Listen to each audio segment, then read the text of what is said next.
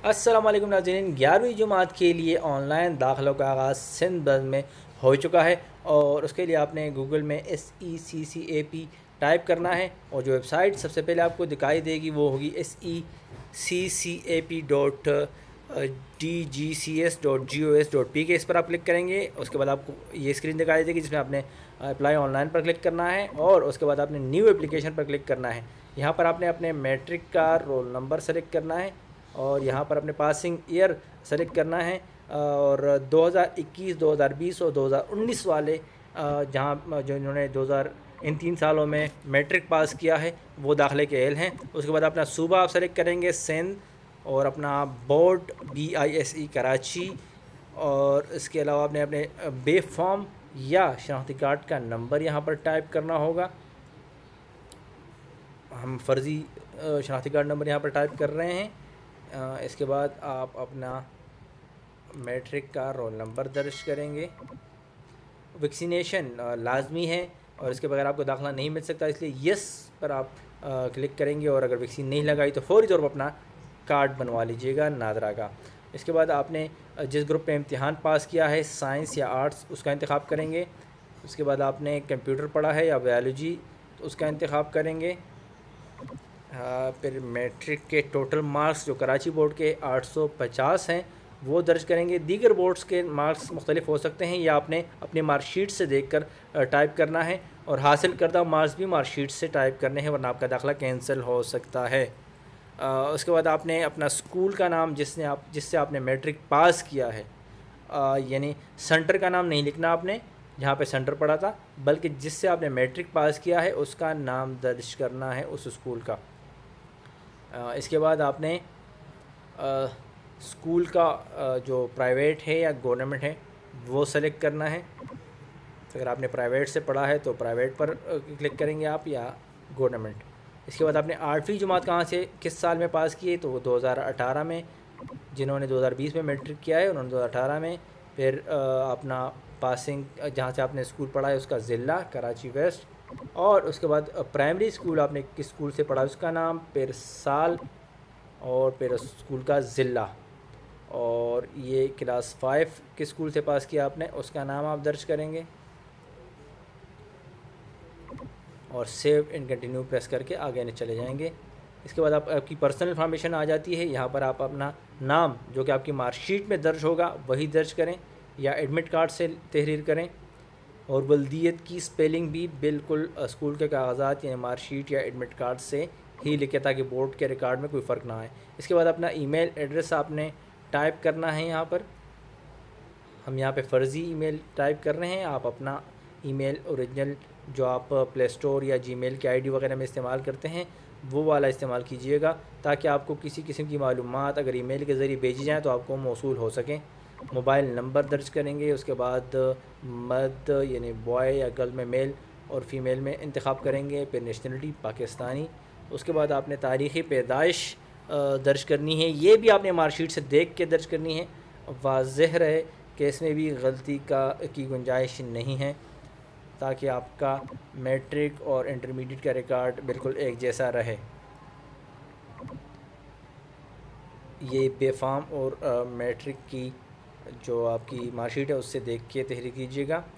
पैदाइश का ज़िला यानी जहाँ से आपका बर्थ सर्टिफिकेट बना है वो तहरीर कीजिएगा। उसके बाद आपने आ, अपना फॉर्म बे नंबर या शादी कार्ड नंबर दर्ज करना है फिर मज़हब के ख़ाने में इस्लाम फिर मिसाइल का ज़िला कराची वेस्ट और इसके बाद वालिद का मोबाइल नंबर।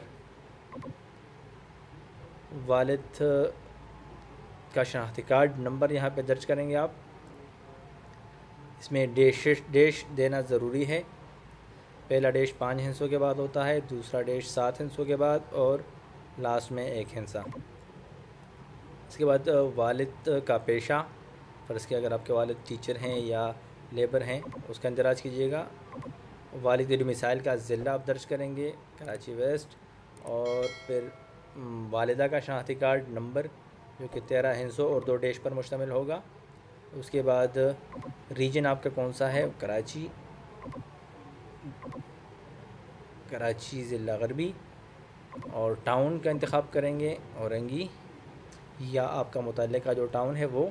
और उसके बाद अपना एड्रेस हाउस नंबर हम यहाँ पे फ़र्ज़ी एड्रेस डाल रहे हैं। आप अपना करेक्ट एड्रेस डालिएगा ताकि आपको दाखिले के हवाले से कोई परेशानी का सामना करना ना पड़े। सेव एंड कंटिन्यू प्रेस करेंगे। तो अगला सफ़ा। चॉइस आ जाएगी आपके पास। आप कहाँ पर दाखिला लेना चाहते हैं तो कराची बोर्ड या हैदराबाद, मीरपुर ख़ास, शहीद बिन नज़ीराबाद, लाड़काना और सिंध के दीगर अजला। हम कराची का इंतखब कर रहे हैं और ग्रुप आप कौन सा सेलेक्ट करना चाह रहे हैं? हम प्री इंजीनियरिंग में दाखिला लेना चाहते हो प्री इंजीनियरिंग सेलेक्ट किया और सेव एंड कंटिन्यू पर प्रेस करेंगे तो अगला फॉर्म आ जाएगा। इसमें आपने पाँच कॉलेज़ का इंतखब करना है। आप इसमें से चलते हुए अपने कॉलेज मंतखब करें, जो आपको अहम लगते हैं, जो बेहतर लगते हैं, जो आपको करीब लगते हैं, और जिसमें आपके मार्क्स मुताबिकत रखते हों, ये आपने कट ऑफ़ मार्क्स से देखना है। उसकी लिस्ट यहाँ पर वेबसाइट पर मौजूद है।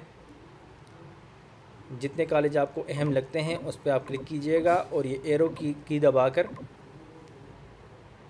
हमने दस तक दस कॉलेज सेलेक्ट कर लिए, और ये एरो की दबाने के बाद अब नीचे आएँगे तो हमारे मंतखब करदा कॉलेज यहाँ पर सामने आ गए। अब इसमें से हम सिर्फ़ पाँच कॉलेज सेलेक्ट करेंगे। पाँच कॉलेज हमने सेलेक्ट करने हैं तो पाँच हम इसको वापस करेंगे जो हमें अहम नहीं लगते या हमारे नंबरों के मुताबिक नहीं रखते या जहाँ पर हमारा मतलूबा सब्जेक्ट यानी प्री इंजीनियरिंग मौजूद नहीं है, उन कॉलेज का हम हटा देंगे। अब फ़र्ज़ करें ये पाँच कॉलेजेस हम हटा रहे हैं।